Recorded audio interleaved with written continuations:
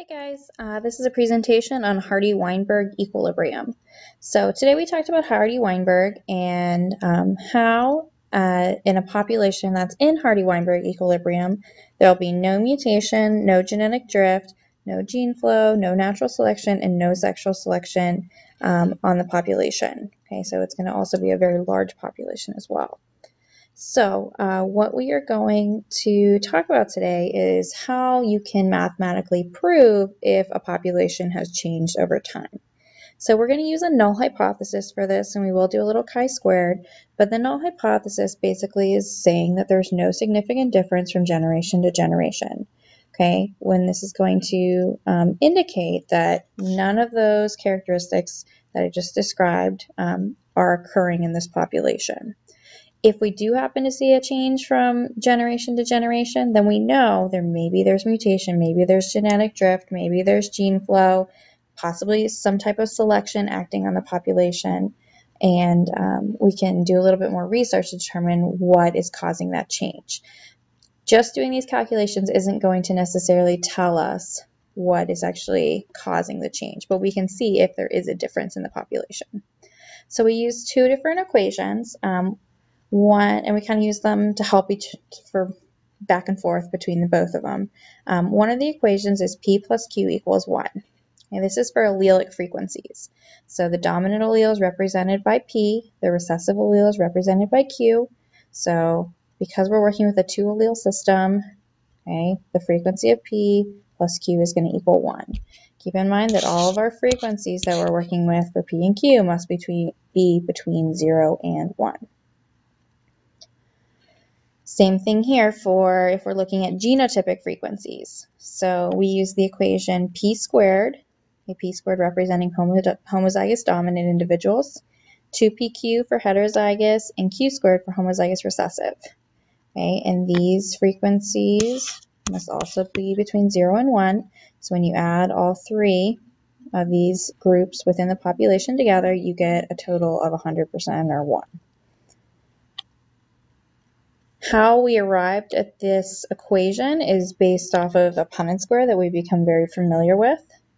So if you think about the probability or the frequency of P in the population, okay, this probability or frequency, um, if you multiply the probability of having one P, or excuse me, a dominant allele by a dominant allele, it's going to be P times P, because those are those are independent events based on whether mom or dad gave that, that dominant allele or not. So that's p squared. Same thing with q squared. Probability of receiving the recessive allele and another recessive allele. So q times q. And then because we have two heterozygous possibilities, okay, we have 2pq. So the probability of p and the probability of q, and then there's two ways to have that happen. So we're going to do a sample problem to practice these skills. So we're going to be looking at a population of newts, okay, with P being dominant over little p.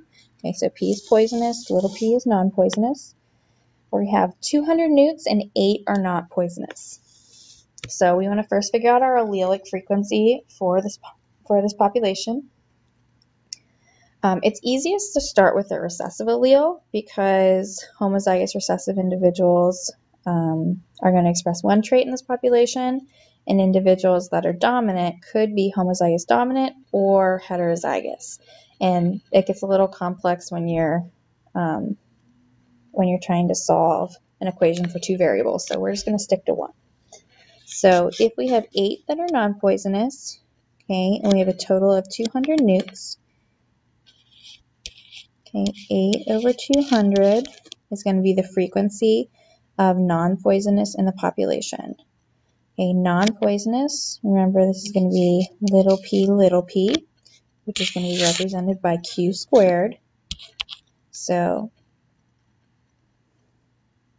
8 divided by 200 equals q squared. I can take the square root of both of these to figure out what q is. So if I pull out my handy-dandy calculator, um, 8 divided by 200 is going to equal 0.004. I take the square root of that. that's going to equal Q. So my final answer would be 0.2 equals Q. Okay, just some algebra. So now that I have Q, remember that P plus Q equals 1. So if Q equals 0.2, P plus 0.2 equals 1. So that means P is going to equal 0.8. So the allelic frequency for poisonous is, is 0.8, for Q is 0.2. So let's take this the next step. So if I have 50 newts washed downstream after a big storm, okay, and they colonize a new pond, what do we expect the frequency and number of each genotype to be? So I know what my expected um, allelic frequencies are. Let's figure out, using these allelic frequencies, how many of 50 newts I would expect to see. So if P, so if the big P, big P is represented by P squared, all I have to do is take 0.8 and square it. And this is going to equal 0.64.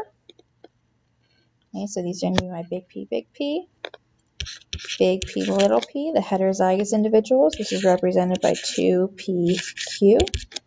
So 0.8, oh, 2 times 0.8 times 0.2 equals 0.32.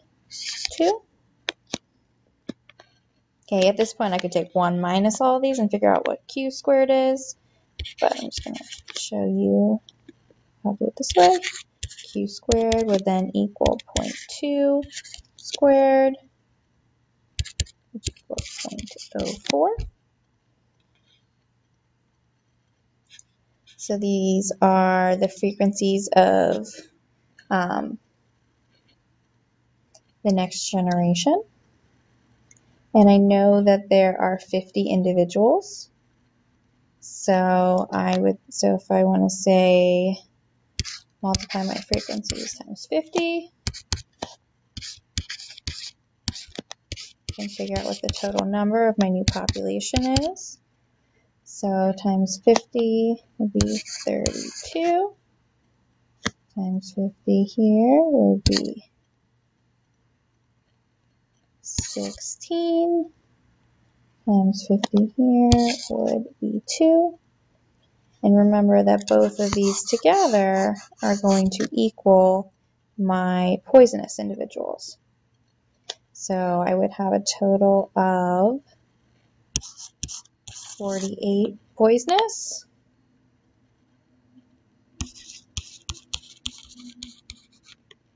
And I would have two non-poisonous. Okay. So, um, next part of the question. I count the new population of newts and I find that I have 44 poisonous and 6 non-poisonous. Okay, um, is this what I expect?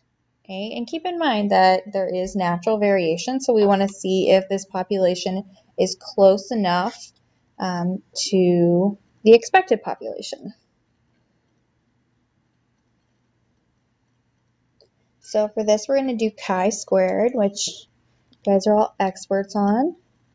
Remember with chi-squared it's going to be the sum of all my observed minus expected squared divided by my expected. So let's start this. Okay, so I expect to see 48 poisonous newts. I have 44. So 44 minus 48, which is my expected, square it, divided by 48, plus, I observed 6 non-poisonous, so 6 minus 2 squared divided by my expected 2 and we get a sum for this.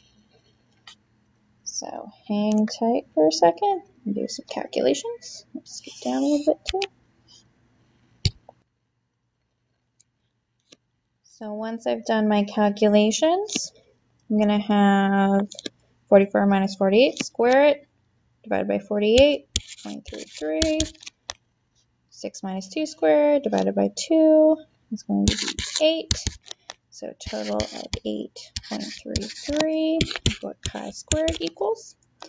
Um, I will reference one of my chi-squared tables. When I look at this table, um, my critical chi-squared value, okay, that I want to compare this to, um, at 1 degree of freedom, have two groups, so 2 minus 1 um, will give me 1 degree of freedom, is um, 3.841. It's my critical chi-squared value at, um, I believe, a probability of, um, I don't want to use B, so 0.05. So 5% probability due to chance.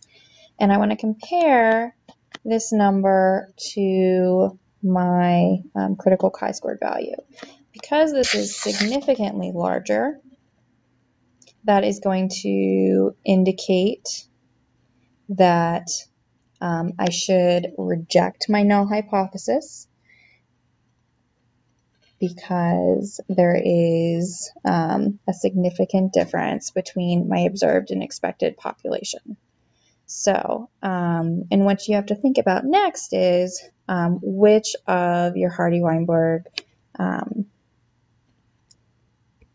qualifications probably which was violated. Um, this is a very small population, about 50 individuals, so I would definitely say um, there's probably a good chance that genetic drift was at play here.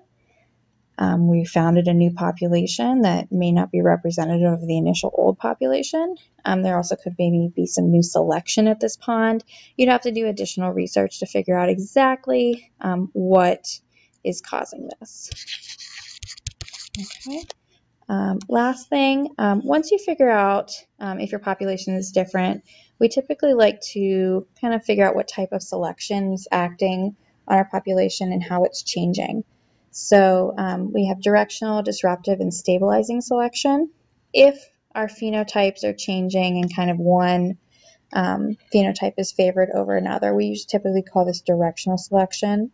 So maybe in the case of our example up here, um, it wasn't as beneficial to be poisonous.